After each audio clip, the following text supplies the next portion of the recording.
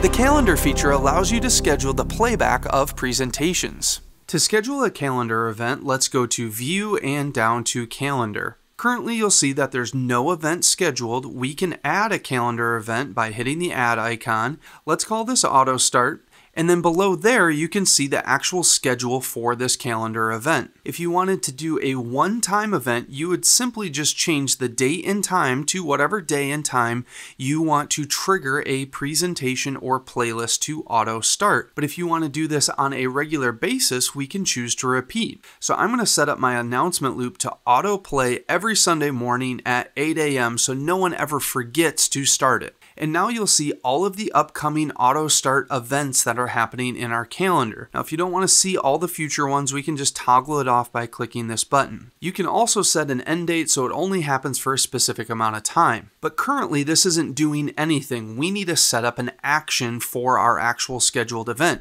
So here's where we select a either playlist or a presentation inside of a playlist to automatically start. I'm going to choose my announcement loop, and you'll notice that a new calendar icon that showed up next to our playlist noting that there's a calendar event associated with this playlist. Now, instead of waiting for that calendar event to actually happen to see if it works, we can simply just click the test button. And now our announcement loop is started with this two second timer, and it's going to happen every single Sunday at 8 a.m.